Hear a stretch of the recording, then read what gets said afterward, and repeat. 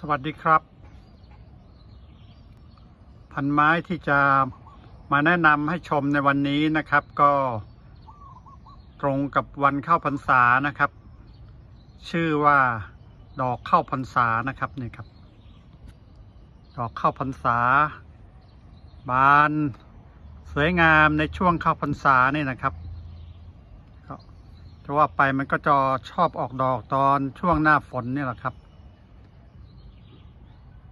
ดอกข้าวพรรษาหรือว่า ชื่อเป็นทางการเขาเรียกว่า ดอกหงเหินนะครับนี่ครับ เป็นไม้ พวกเดียวกับพวกขิงข่านะครับ มีอยู่หลายสีด้วยกันนะครับ สีขาวๆนั้นคือ ใบประดับนะครับ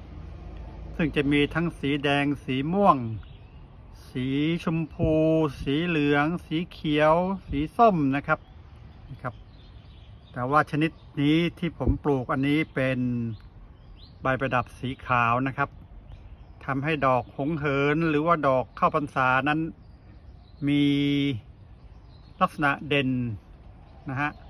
ก็คือเนี่ยฮะที่ใบประดับของเขาสวยๆนี่นะครับ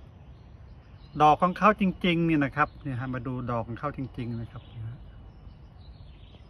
ดอกสีเหลืองๆเนี่ยนะครับ แล้วก็มี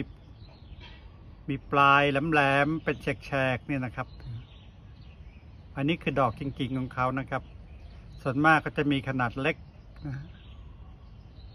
นะครับถ้ามุมนี้ก็จะเห็น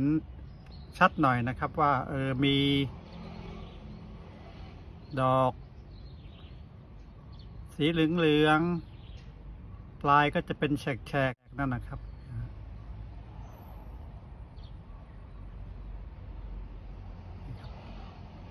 ถามว่าดอกมีกลิ่นหอมไหม ผมไม่ได้กลิ่นนะครับ หมายถึงว่าตอนที่ดมดมดูก็อาจจะมีกลิ่นบ้างนะครับ เป็นพวกวงคิงคาก็จะมีมีกลิ่นอยู่บ้าง แต่ว่าจมูกช่วงนี้ไม่ค่อยจะดีก็ไม่แน่ใจเหมือนกันนะครับว่าแท้จริงแล้วเขามีดอกไอ้เขามีกลิ่นหรือเปล่านะครับ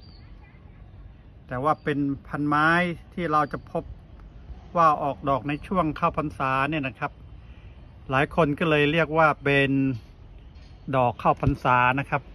นะฮะมาดูลักษณะของใบนะครับเนี่ยใบนะครับใบ ใบก็เป็นพวกใบวงขิงคานี่แหละครับ อยู่ในจีนัสกรอบบ้าครับ มีอยู่หลายร้อยชนิดนะครับ ในโลกนี้นะฮะมีในแถบเอเชียเนี่ยนะครับ มีอยู่หลายร้อยชนิด สำหรับเมืองไทยเองเนี่ยมีอยู่ 40 กว่าชนิดนะครับ ก็ยังเจอชนิดใหม่ ๆ อยู่เรื่อยๆนะครับ เท่าที่มีคนจะศึกษาครับนี่ก็เป็นลักษณะของดอกไม้ที่ออกในช่วงเข้าพรรษา เราเรียกว่า ต้นข้าวพรรษาหรือว่าต้นหงเหินนั่นแหละครับ ถ้าสนใจเกี่ยวกับพันไม้ที่น่าสนใจหลาย ๆ ชนิดนะครับ